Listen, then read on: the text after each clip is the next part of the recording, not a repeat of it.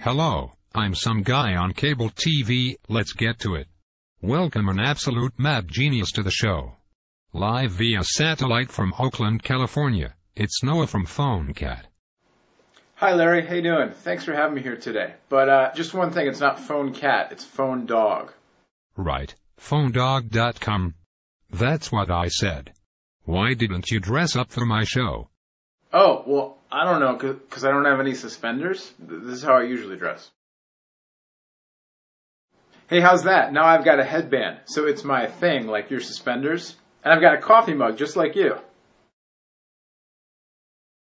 No. Everyone wants to know one thing. Olympics. German speed skaters. Cell phones. What is the etiquette? Well, Larry, funny you should ask. There was a little incident at the Olympics this year involving a German speed skater. a young man by the name of Patrick Beckert is a uh, an alternate on Germany's Olympic speed skating team.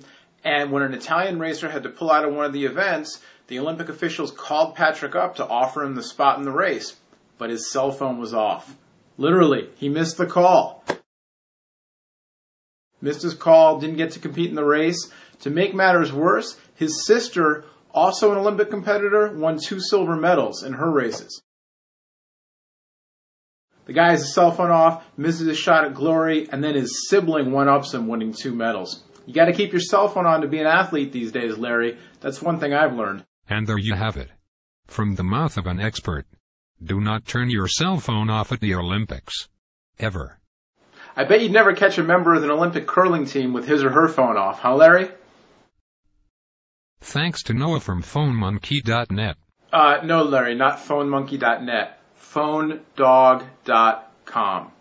Right. Phone dog. That's what I said. All right, see you next time.